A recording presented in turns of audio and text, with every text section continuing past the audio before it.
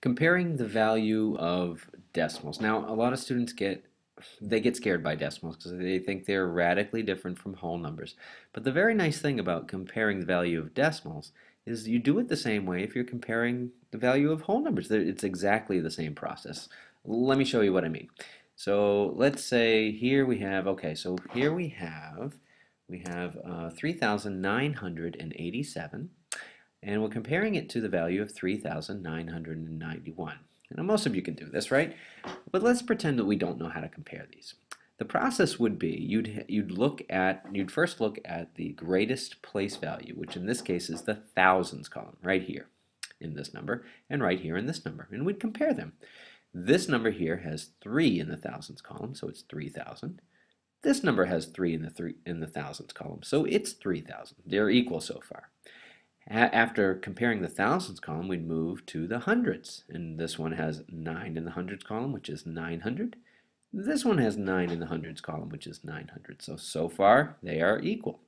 After comparing those two place values, we then move to the tens. Now, this has 8 in the tens column, which is 80.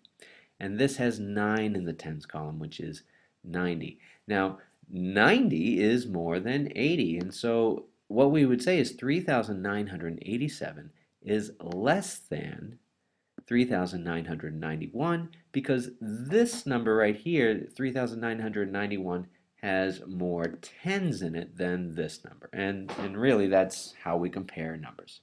The nice thing about decimals is we're going to use the exact same method in order to do it. Let me show you what I mean. So here's two decimals. Here we have 3 tenths and we have 19 hundredths. Those are the two decimals that we're going to compare. Now the first thing you got to realize about decimal numbers is they usually represent numbers that are less than one whole. And in this case you'll notice that in the ones column here there's nothing going on. And in the ones column here there's nothing going on. So these numbers are both less than one whole but not quite zero. So we're trying to figure out which is greater. 3 is 3 tenths greater than 19 hundredths or is 19 hundredths greater than 3 tenths? How the heck are we going to find out? Well, we're going to do it the same way we did it as with the whole numbers.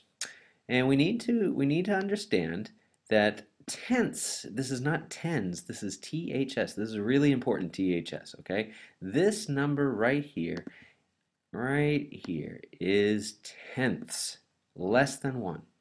And we, we're also dealing with um, we're also dealing with hundredths. And this number right here, 19 hundredths, this column represents the hundredths column. So we're not dealing with hundreds. That's something different. That's over here. Hundredths is less than 1. So let's just try to remember our place value of decimals while we're doing this. This is really the only, this is the thing that confuses kids the most, I think, when they're comparing. Okay, so let's take a look at these. Now we said we're going to use the exact same method. So let's start on the left-hand side of the number where the greatest place value is and take a look. In the ones column in this number is a zero. This has zero wholes, zero whole numbers in it. How about over here in 19 hundredths? Yeah, that has zero whole numbers. So, so far they're identical. After we look at the whole numbers, we move to the right, just as we did up here. We keep moving to the right. This has 3 tenths in it, while this number over here has 1 tenth in it. 3 is greater than 1, and so this whole number over here, this, this decimal number, 3 tenths, is greater than 19 hundredths because it has more tenths than 19 hundredths does. Now I think a lot of kids will, will look at that number and they'll say, but wait a second, 19 is more than 3. This has two digits, this has one digit, this has to be greater. Let me show you why that's not the case. Okay, so here is um, here's a model of tenths, right? This is a this is a you've seen these before. This is a, a square that's cut into ten parts, and you know I, I could color those in for you. We we could say okay, if we were going to do three tenths, we'd color these in. We'd say one tenth and two tenths and three tenths, right? And there it is, right? That's what three tenths actually looks like. It's three out of 10 strips, right? We've done this before. You that That's pretty familiar. Uh, to, you know this stuff. All right. What would, what would 19 hundredths look like? Well, in this particular case, what we would have to do is we can't just fill in strips. This is broken into 100 parts.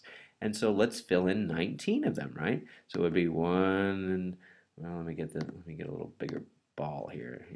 We'd say there's one and two and three and four and five and six and seven and eight and nine and ten and eleven and twelve and thirteen and fourteen and fifteen, sixteen, seventeen, eighteen, nineteen. Wasn't that exciting?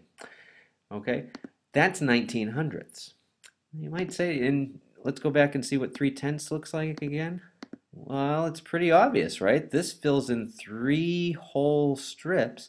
This doesn't even fill in two whole strips, right? If I was actually going to color in these strips, I'd get one and most of the other, but I wouldn't get three for sure. And this shows us that 3 tenths is greater than 19 hundredths. That's the confusing part though. It doesn't matter if there were nines coming all the way down. I could put nines till the cows come home. Here they come, right? Well, nine, nine, nine, nine. These aren't very good nines, forgive me. Um, but I could put a bunch of nines here. It's still not going to be greater than, than this number here because of that pesky 3 in the tens place. 3 is greater than 1, and so this number is greater than that number. Guys, that's all there is to it, to comparing the value of decimals. Use the same methodology. Start on the left-hand side with the greatest place value and compare them. Um, tenths, and then hundredths, and then thousandths, or ten thousandths, or whatever you have. And it, it, you won't get confused if you just follow that methodology. All right? Any of this confused you? Just rewind it, look at it again, and uh, come with your questions tomorrow, okay? Talk to you later. Bye.